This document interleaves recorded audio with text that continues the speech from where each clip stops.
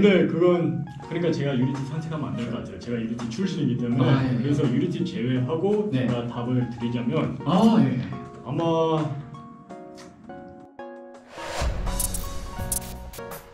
선생님 혹시 특수부대 전역자들이 하는 서바이벌 프로그램 처음부터 들어보셨습니까? 들어봤죠. 네, 예고편 다 봤어요. 아뭐 보였어요? 네. 이 특수부대들이 네. 특전사 707 그리고 SSU UDT 네. 해병대 특수수색대 그리고 SDT 군사경찰 이렇게 총 6팀이 경합하게 되는데 아마 선배님이 이런 특수부대들 대부분 아실 것 같으세요. 아, 그럼요, 잘 알죠. 뭐 혹시 생각하기에 재미로 그 팀 중에 선배님이 생각하시기에 어느 팀이 우승하실 것 같으세요?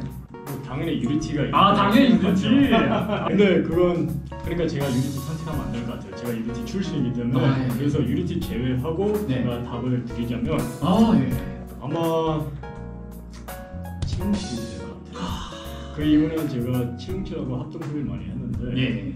우리 뭐 sister unit라고 볼 수 있잖아요. 그 분들 실력을 봤을 때는 어, 그래도 유리티 다음으로 유리티 다음으로 실력이 뛰어. 아 다음으로 비등비등한 게 아니고 다음으로. 그렇죠 UDT가 오, 네, 예. 그렇죠.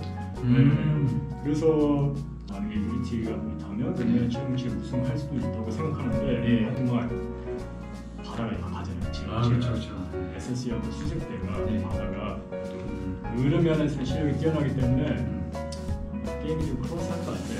네. 그러니까 어떤 종목들이 있는지 저도 모르잖아요. 그렇죠 그렇죠. 네. 네. 만약에 물 관련된 종목들이 많으면 SS가 당연히 이길 수 있겠죠. 열심히 해보겠습니다. 네, 그래도 SC 열심히 제가 응원하겠습니다. 아 예 감사합니다. 열심히 하도록 하겠습니다. 알겠습니다. 꼭 네. 좋은 결과 있길 바랍니다. 네 선배님의 이 규정을 위해 감사합니다. 네.